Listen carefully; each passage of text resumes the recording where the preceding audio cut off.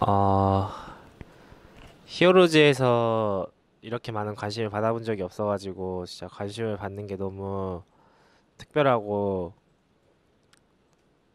좋은 것 같아요. 어, 저는 오히려 다른 미드라이너 선수가 두 명이 있다는 게 더 좋다고 생각해요. 제가 지금은 아직 배워야 나간, 배워 나가는 시기고 배워서 볼 수 있는 선수가 두 명이나 되는 거라서 더 빠르게 성장할 수 있는 환경이라고 생각해요. 어, 히오스 대회가 사라진 이후에 제가 잘하는 게임이 이제 AOS 장르인데 같은 AOS 장르 중에서 프로 대회가 있고 인기가 있는 게임이 롤이고 또 제가 원래부터도 했었던 게임이기도 해가지고 롤로 오게 된 것 같아요. 어, 원래는 제가 아카데미로 들어가면서 한 1년 정도는 여기서 배우자라고 생각을 했어요. 근데 아카데미에서 스크림 하고 이제 점수도 올라가다 보니까 일부 감독 코치님들이 좀 좋게 봐주신 것 같아요. 그래서 아직은 저도 제가 잘한다고 생각하지 못하고 배워야 내가 시기라고 생각해요. 처음에 다시 젠지로 들어왔을 때 많은 분들이 되게 반겨주셨고 엄청 좋아했어요.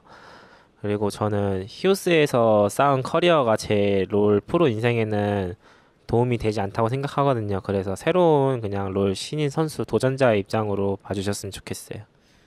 어, 제가 했을 때는 경쟁력이 있다고 느껴지고 그래도 저는 더 성장할 수 있다고 생각하거든요. 그래서 아직은 끝이 아니라고 생각해서 뽑아주신 것 같아요. 일본으로. 지금 당장의 실력만 봐서는 부족하다고 생각되거든요. 사실 원래 처음에 다시 돌아왔을 때는 정글을 했다가 정글을 하면서 승률이 너무 안 나와가지고 탑을 했어요. 근데 탑을 해서 그랜드 마스터를 찍은 다음에 탑으로 한계가 오더라고요. 그래서 미드로 하니까 게임도 잘 되고 내가 뭔가 주도하는 느낌이 있어가지고 주도하는 느낌을 바탕으로 하다 보니까 챌린저를 찍어서 미드로 하게 된 것 같아요. 어, 특히 다들 그냥 히오스에서도 우승했으니까 롤에서도 당연히 우승하겠지라는 생각을 가지신 분들이 은근 있더라고요. 근데 저는 그렇게 큰 목표는 가지고 있지 않고 그런 생각도 가지고 있지 않아요. 그래서 소소하게 데뷔하는 무대에서 승리를 챙겼으면 좋겠어요.